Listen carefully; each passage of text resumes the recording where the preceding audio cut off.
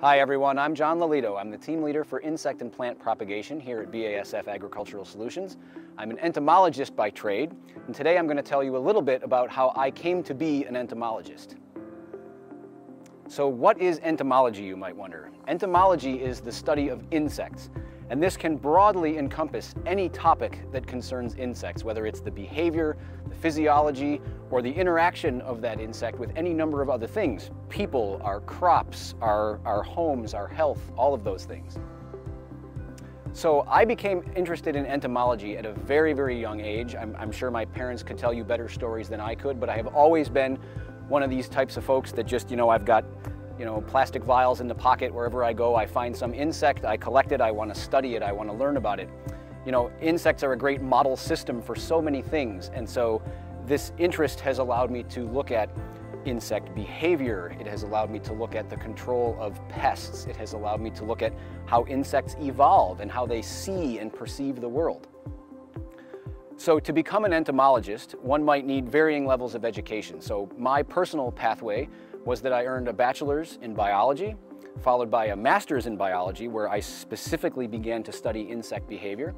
And then I went on to earn a PhD looking at mm, insect behavior in the field and how that might apply to the control of an exotic species. So my career path as an entomologist, um, I would have to say I've been very lucky. Um, I had a, a series of very good mentors along the way that encouraged my love and passion for insects and also helped me to take that passion and apply it to topics or subjects that had real world impact. And I think this has helped me along the way in, in so many ways. You know, when you're a scientist, an entomologist, it isn't just about the science that you do, it's also about how you communicate it and how you share that knowledge with others. Uh, for example, you know, uh, one of the ways that you communicate is you publish papers or you give presentations. And I was able to have all of those experiences early on in my education.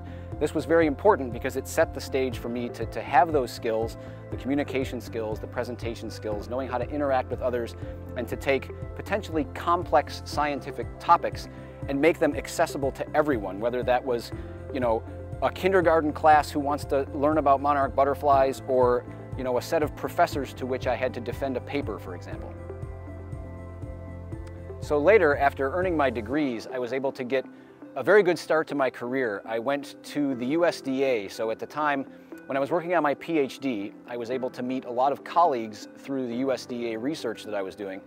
And some of these are still wonderful colleagues that I still talk to today at meetings and such.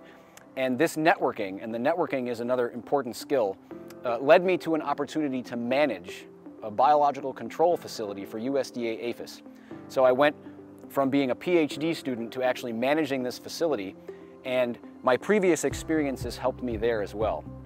So when you're a graduate student, the focus is often very much on publications and grant writing and these types of things. And it became very obvious to me when I went to become the facility manager for USDA that those were important skills, but that there were many others that I had to develop very quickly. So managing people is not an experience that many people have in graduate school. If you can get that experience, you should. It becomes very important. Many scientists at some point in the career will have to manage someone else, whether that's one or two technicians or uh, you know, uh, potentially an entire group of people. It's very important to hone those skills. You have to understand how to interact with others. You have to understand how to explain complicated topics in a way that you know, isn't complicated because not everyone that you interact with is going to be an entomologist. And so this time at USDA was really valuable for me to develop those skills. And it prepared me to make the move to BASF, where I now have a similar, if not even more complex role. And so I still have all of the people management. I serve as an expert within the organization. And so this varies from the fun and entertaining, what I like to think of as the mystery cup, which means I go into my office in the morning and there's some nondescript plastic container with a mystery insect inside, and there's some kind of hastily written note that says, scary thing found under bed, what is it? And it's great when there's a name or an email attached to that and I know who to get a hold of, all the way through from that type of activity to you know, designing and managing the facility, so you have to understand you know, I do insect mass rearing, and so this means I have to know a lot about, you know, uh, lighting systems and heating, ventilation, air conditioning, things like this. You have to understand a lot of chemistry because you need to understand how insect diets are put together, for example. These are often very complex food items that have dozens or more ingredients, and you need to understand how those different chemistries will interact. It's also helpful to understand insect behavior um, because knowing how to mass produce an insect is often predicated on the idea that you know what the animal would do in the real environment and how to bring that behavior and to bring you know, that way of living from the insect's perspective into the laboratory. There are many career paths available to an entomologist, so my career path is not the only one. Uh, many people in entomology are uh, pest control operators of one sort or another. So these are the people that you might call to deal with termites or roaches in the home. Other entomologists serve, you know, in our military. They may be medical entomologists that help to protect people when we travel overseas to accomplish the various roles and missions uh, there. There may be some pure research, right? So research into insects for the sake of understanding more about these, these animals and the way they interact with plants and the soil and the environment. Um, a lot of entomologists work in some way or other for some form of industry. So, you know, uh, research and development around topics that concern, you know, crop protection or the protection of our health or our homes. Uh, really, insects touch our lives in a lot of ways every day. And any one of those ways that you can think of, if you think about your day from the time you get up until the time you go to sleep, somewhere in there you have likely interacted with an insect, even if it was only to go, ooh, I want to get away from that insect. Somewhere along the line, somebody had to study that insect. And so really anything that falls under that umbrella really is what it is to be an entomologist. An entomologist really needs to have a broad skill set, especially where we're concerned about educating others about insects. Insects are something that a lot of people, they're, they're kind of opaque, right? So you see a lot of carpenter ants coming out of your cupboard and you don't understand necessarily what they're doing or what's going on or whether or not your house is infested. And so an entomologist called in to assess that situation needs to be you know, calm and collected and a good communicator. Oftentimes when people have to interact with a lot of insects, especially where that interaction is, let's say, you know, negative, there is a pest problem, the people have a lot of energy, right? They have a strong feeling about how they don't want any more roaches under their refrigerator. They don't want termites, you know, eating their garage. And so you really have to understand the emotions of the person you're talking to. You also have to understand how to take something complicated, like for example, the nesting biology of a carpenter ant, and explain it to the homeowner in a way that helps them to understand that, you know, the 500 ants coming out of their pantry are unlikely to be destroying their house, are actually likely to be nesting somewhere else on the property. And so, you know, making sure that you have that interaction where you help them to understand that yes, sure, I can fumigate your, your pantry, but that isn't actually gonna solve the problem because the real carpenter ant nest, where the queen and where the eggs and where all of these delightful little animals came from is in your firewood pile 200 feet away from your house. And so being able to know, okay, so you know the, the science behind what you're doing, being able to communicate that to someone who doesn't know the science is, is so incredibly important and especially when you think about the diversity of the audiences that you might, you might talk to. So for example, in the regular parts of my job, I would talk to you know, school children, I would talk to middle schoolers, high schoolers, I would talk to college students or adult professionals about any number of topics. And obviously, you cannot give the same lecture to the kindergarteners that you would give to you know, a group of board certified entomologists.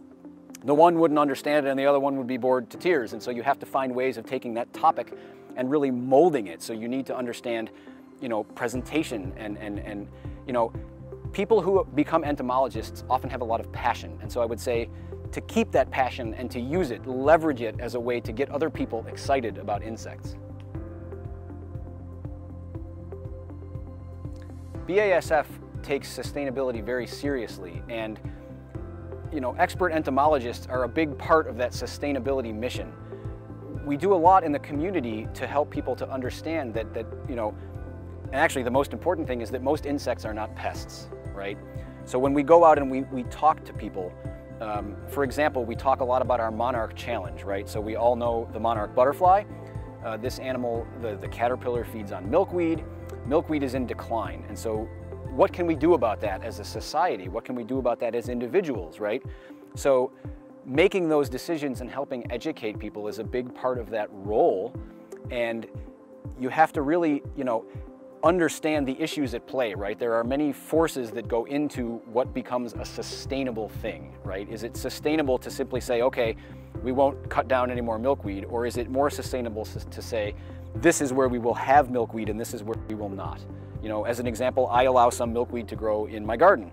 And every year, and in fact now I'm, I'm certain there are monarch eggs and caterpillars in there as they begin to get ready for the fall migration.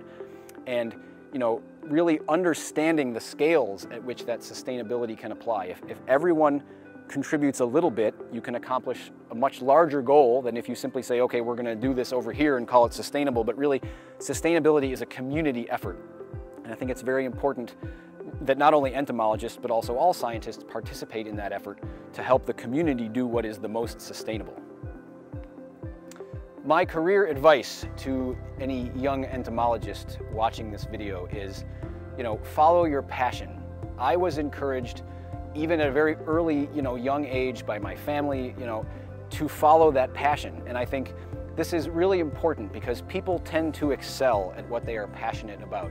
Passion is a tremendous amount of energy, and if you're really passionate about a subject, if you really are the kind of kid I was, where you would be, you know, in the bushes collecting things and, and, and you know, writing down the life cycles and all these things, um, take that, harness it, right? Because this energy is something that others appreciate about any subject matter expert, right? Whether you want to be an entomologist or a physical therapist or a chemist or an airline pilot, if you're really excited about what you do, that energy will inspire others, right? And, and it really makes your role so much easier as an entomologist, you know, when I get the mystery cup, like I mentioned, this is not something that's a drag on my day. This is interesting. This, you know, sort of ignites that energy. And so I'm always very happy to help others learn about this, you know, strange spider they found under the deck or whatever the case might be. And so I think that really is the most core piece of advice is to just maintain that passion and use it. You know, find societies, join your local entomology society, participate in, you know, Facebook groups, that might be concerned with specific topics. Like we have one for the Monarch Challenge, but there are so many others that, that are all equally valuable, right? And so maybe you're really interested in ants. There's a forum for that. Maybe you're really interested in butterflies. There's a forum for that. Leverage the passion and continue to pursue the interests because one thing I can tell you from my career path is uh, you will never learn everything you need to know from one source, right? You will not have one book or one experience or, or even one mentor who teaches you everything you need to know to be successful. The more you can learn and from the more people you can learn, the more successful you will be.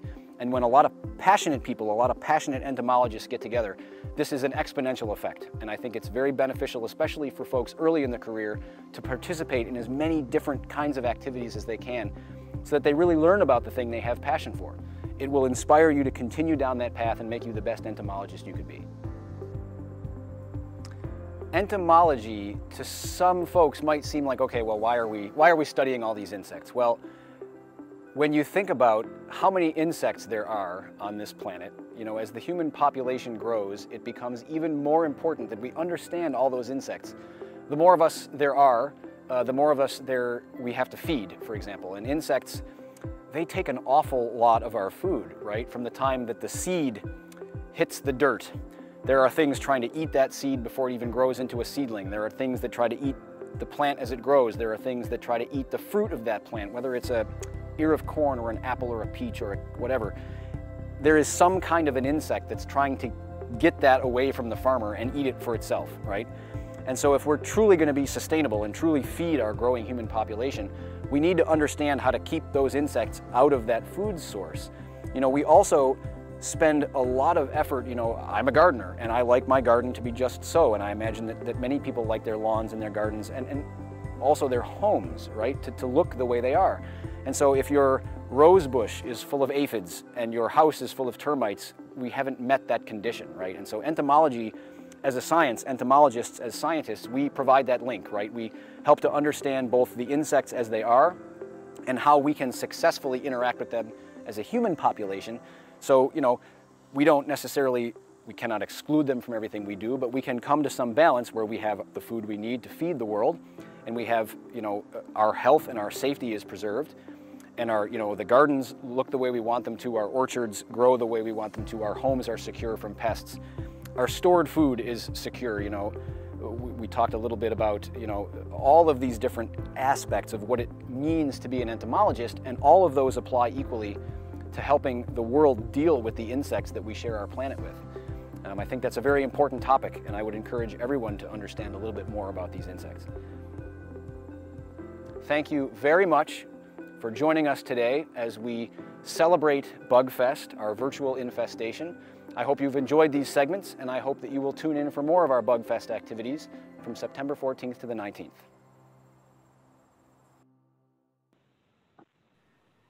All right. Awesome. So I know I have a ton of questions, but first of all, I need to introduce our um, live in-person special guest, John Lelito from BASF. Hi, John. Hey, good morning, everybody. Thanks for watching my my nice long video there. So, so I am um, an expert and sorry. Yeah, go yeah, go for it. I was gonna say, please tell us a little bit more about um about you and uh yeah, what you're doing right now. Sure.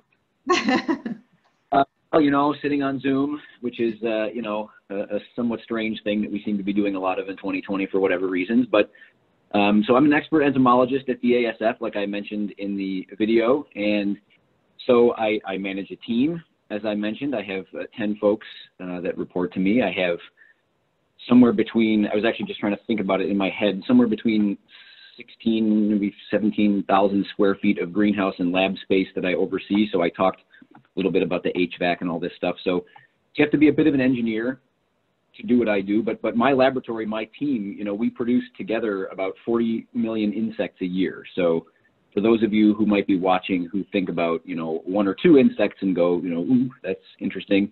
Um, imagine, you know, tens of millions of these animals, and and that's my job. That's what I do every day. So that's pretty fun, I think. So what's more difficult, managing the 16 people or the 40 million insects? well, it's really to pull those two apart, right? So, so um, both, right? So some insects are really complicated. Some people are really complicated. They're actually not so different than us in a lot of ways. Um, there are there are people and insects that are easy to deal with every day. You look forward to seeing them in the hallway or, well, I guess in the garden if it's the insect. Uh, people don't pop up in the garden as often as they used to this year. Um, and you know, there are other ones that you know you, you kind of oh boy, it's that favorite coworker, it's that favorite insect. You know, the mosquito is coming to bite you again. Yeah, there's both. Yeah, so speaking of kind of uh, um, more difficult coworkers to work with, what is the most difficult insect that you um, rear um, at BASF? The most difficult. Um, well, that's a good question. So we have we have some beetles that we work with and it's not necessarily that the beetle is difficult, like the individual little guy is, is cute and fuzzy and it's a nice beetle. And, you know, I, I, I get to know them, I name them, we feed them, we have breakfast together some mornings. But the process of turning these, these animals into more, more animals, right? That's the hard part. So, so some insects, you know, so exa- for an example, right now in, in the daytime or in the evening, you guys might hear cicadas outside, right? And so cicadas are, you know, they seem like they come out every year, but that individual cicada actually spent, you know, a number of years growing. And so some insects are tough because their life cycles are really, really long, right? They spend a lot of time, months, years, many years in some cases, doing something sort of cryptic underground. So cicadas live on tree roots. And they only come out when they're done feeding on tree roots after many years. And so you get the cicada, but then it's a lot of years later until you get more cicadas. And so that's that's challenging. We have some species like that, you know they're not all like fruit flies. I, I heard Miranda mention fruit flies, where you know we all probably know that the you know the life cycle is really fast, right? You leave a banana on the counter, and before you blink three times, it seems like there's fruit flies coming out of the thing. But some insects have many years of a life cycle, and these are probably the most challenging to deal with. And some of them are actually very economically important. So that's a one we're interested in. Yeah. So um, kind of on the same same line of thinking. Um, Amber wants to know what are some insects that you enjoy focusing on the most? I guess what are your kind of favorite ones that you walk in and, and say, yes, I get to work with, with these guys today? Yeah, my favorite ones when I walk in. I actually really enjoy. We have some some grasshoppers, right? And so these are fairly large grasshoppers. I think one of the video shorts that will be part of this bug fest actually shows me, you know, interacting with some of these grasshoppers and they're really big. They're several inches long. They're called lubber grasshoppers and we use them as a model system for a number of things. And they're just really cool. I mean, they're, you know, they're enormous. They have personality. They love Honey Nut Cheerios. If you have a Honey Nut Cheerio, you can have the grasshopper on your hand and you can feed it a Cheerio. I don't know why they like those, but they do. And they'll sit still and eat one for five minutes. So it's kind of cool, especially if you have, you know, a coworker or a neighbor that kind of, you know, gives you the eyebrow if you have an insect on you. That's a fun that's a fun trick, especially for Halloween. yeah, and and I know like I just love watching tiny animals eat things, you know. Um, and and of course, like Honey Nut Cheerio, I, I agree that Honey Nut Cheerio is probably the best tasting Cheerio. So um, I, I can agree with the the lubbers there. Um, and so, you know, going back to to kind of your career at BASF. Why, Karen, friend Karen wants to know, um, why do you breed and raise insects and what do you do with them once you raise them? Well, so, so why do we breed them? Let's start there. Um, we breed them because at BASF, we develop a lot of biological and chemical solutions for various pest problems, right? Whether that's to, you know, for example, treat the litter in chicken houses for, you know, pests or to you know, treat the concrete under your house for termites or whatever, right? We, we need to understand how those, you know, those products work. And, and that R&D process is really long. It's, it's 15 or 20 years in some cases. And so my insects, you know, their first purpose is for research and development. And so to get there, what do we do with them? Um, a lot of them actually, so, so think about this sort of like, um, it, it's really like farming, right? Because we, we grow a bunch of insects and some of them we have to keep back, right? This is our this is our breeding herd, so to speak, right? To get more cows, you have to keep some cows and let them, you know, make calves and yada yada. So we keep a certain portion of the insects we rear to make more insects later.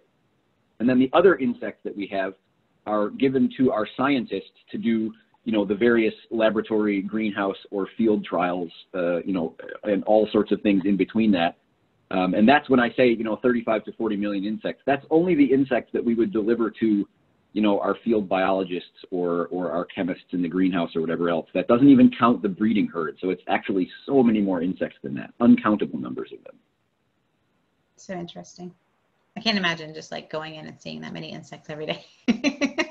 and of course, lots of them are very, very tiny, right?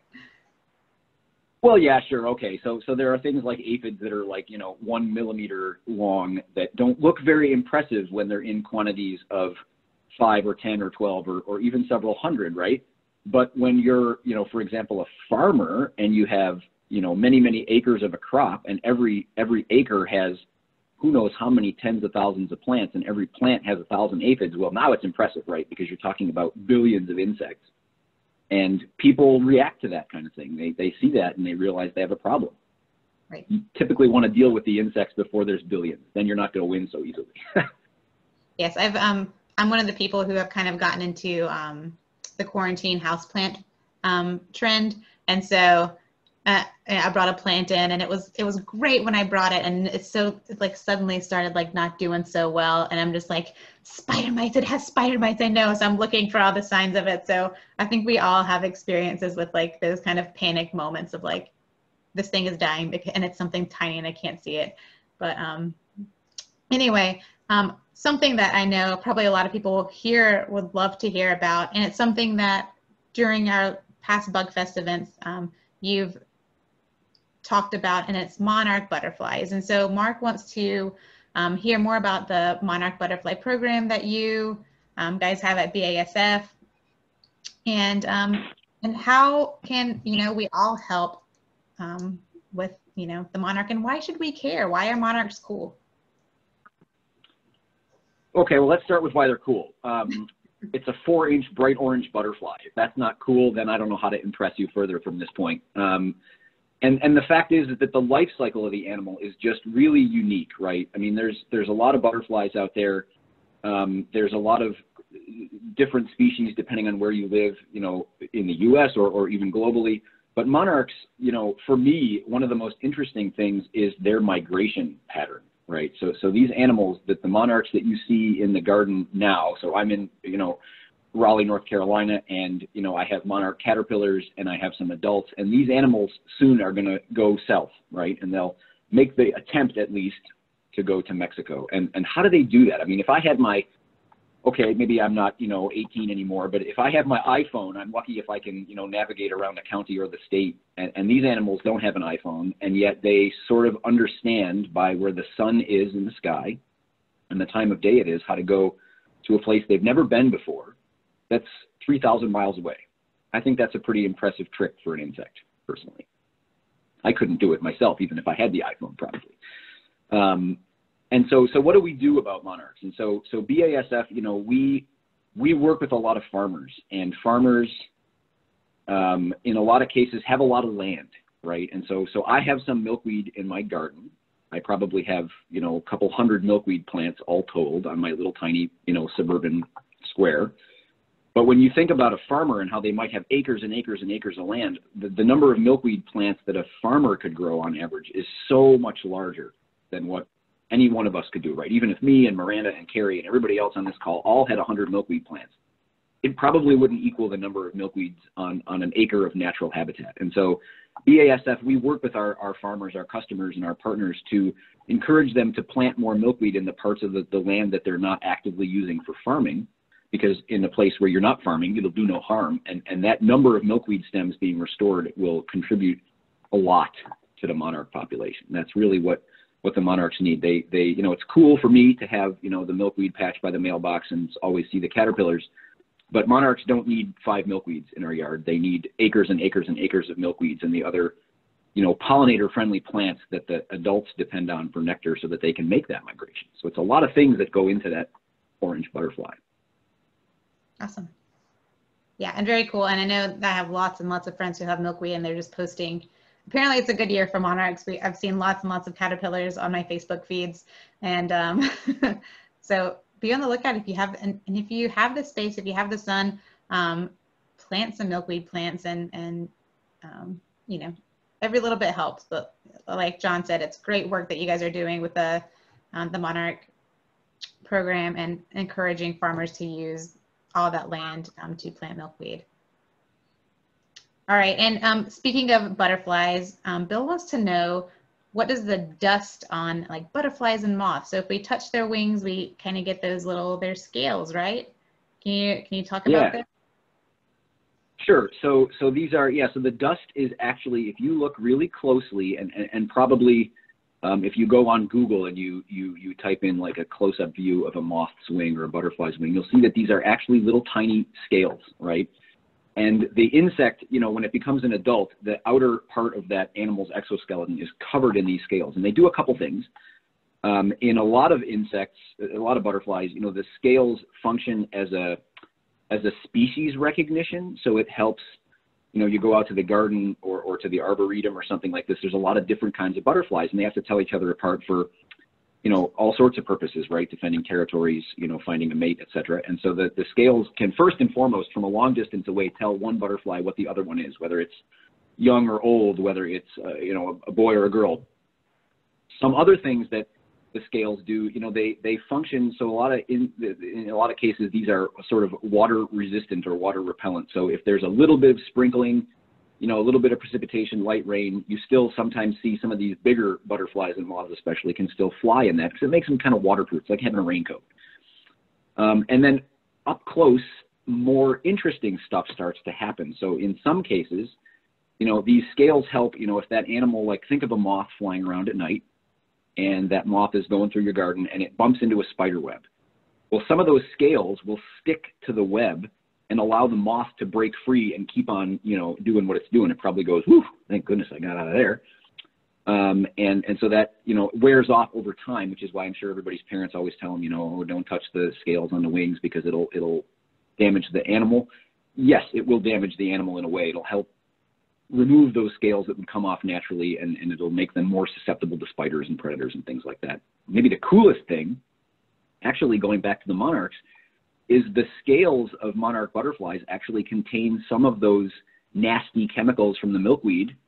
And so when another animal tries to put the monarch in its mouth, it gets a mouthful of those scales and the scales are, you know, they taste likely terrible. I'm not going to volunteer to taste one because I know what's in there.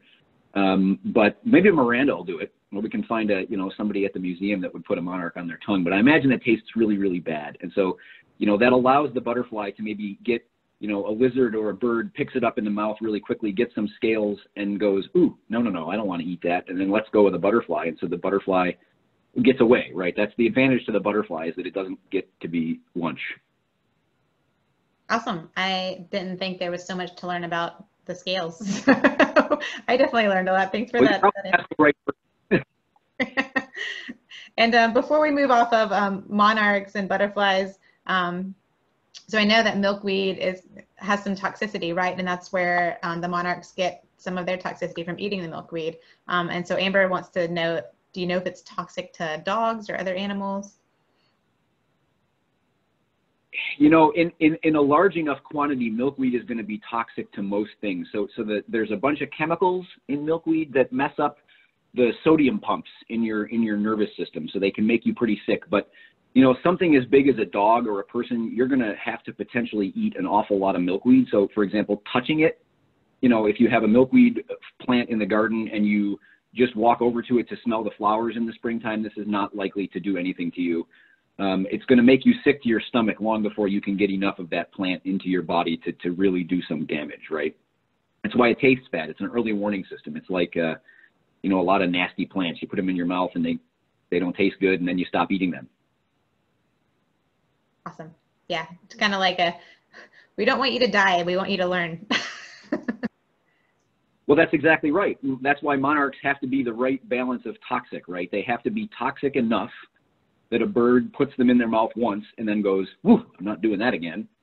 Um, but obviously, if the bird dropped dead, then the birds wouldn't learn, and then the monarch would still be lunch, and so that's that doesn't work.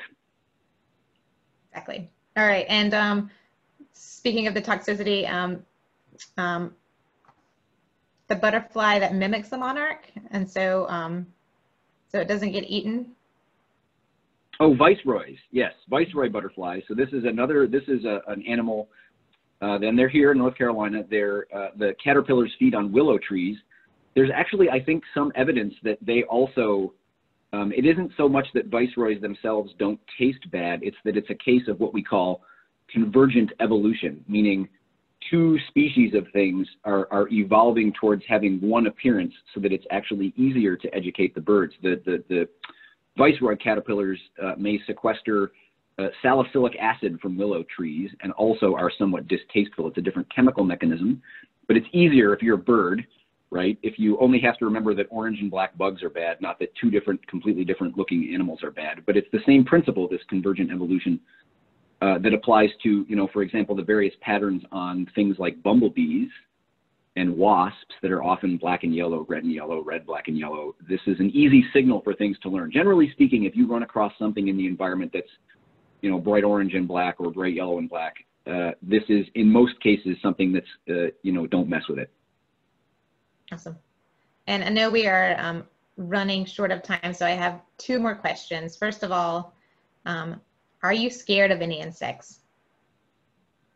Am I scared of them? Um, well, that's a good question. I don't like certain insects in large quantities. Um, so, you know, when you go outside in the woods and there are just hundreds of, uh, you know, tabanid flies, deer flies, things like this, and they're just swarming you, they're trying to bite you. They always get you like on the ear, on the neck. Man, that that drives me nuts. I don't I don't appreciate that. I have a healthy respect for things that can bite me, right? So so you know, mosquitoes it isn't necessarily that I'm scared of them, but I understand that a lot of mosquitoes can carry viruses. I'm not interested in getting viruses. I've had my complete capacity to hear about viruses this year. So mosquitoes are, are maybe something I will avoid. I don't run and hide from them necessarily, but I don't like them at all. Sorry to the fly theme, but I don't like mosquitoes.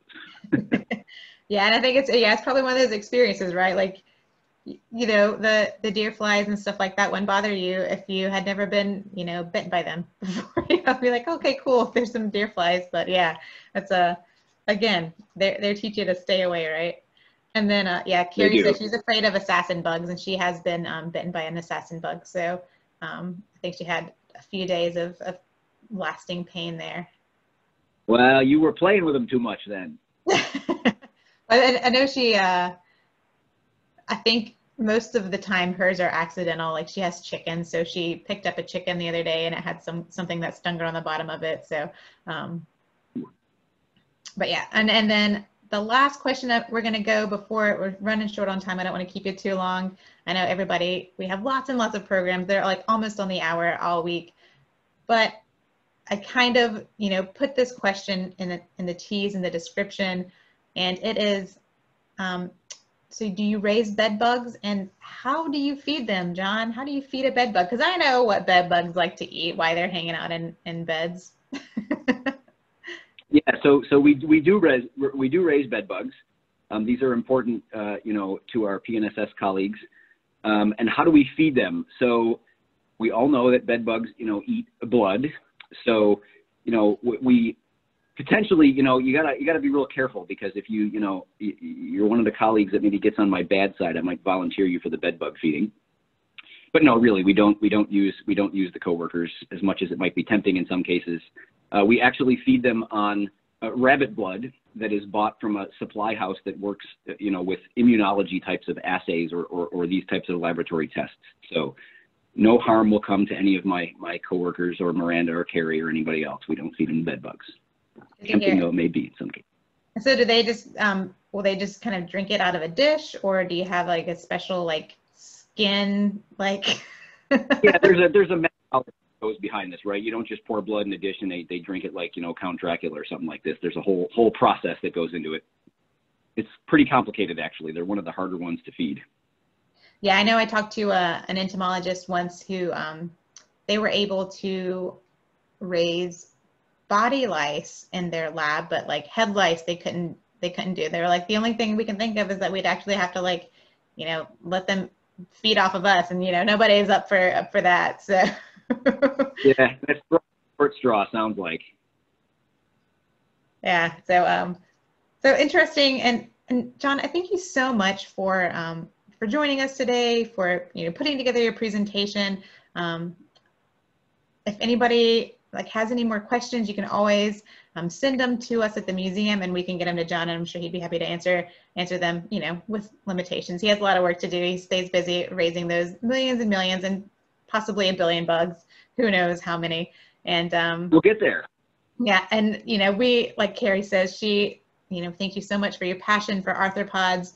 Um, and, you know, I'd love to your story about how you've always known that you were interested in, in insects, you know, from the time you were little. And I think a lot of us, you know, have always had um, something that we were interested in, but maybe we didn't know that we were going to be an entomologist when we were, you know, yay big. So um, thanks again. And um, I really appreciate it so much. And everyone, thank you so much for coming. Um, I hope you had fun. I hope you learned a ton, just like me. And of course, we have a week of programs. Go to bugfest.org check them all out. And of course, if you are like me, you have to get a Bugfest shirt every single year. We're, those are available on bugfest.org. I know John's going to get one. Um, and so we are so excited about them. They have all these flies. So it's a virtual infestation. Um, and again, you know, if you really enjoyed the program, we'd love for you to donate to the museum to help support more programs like this as we go throughout the year and into next year. And um, we hope to see you at our future events here um, during Bugfest. I know if you are not as into mosquitoes as John and I are, we have a presentation at two o'clock that is talking about how to keep them kind of out of our yards and away from us and off of us. So um, thank you so much. Thanks again, John. All right, take care, everybody. Enjoy the rest of Bugfest.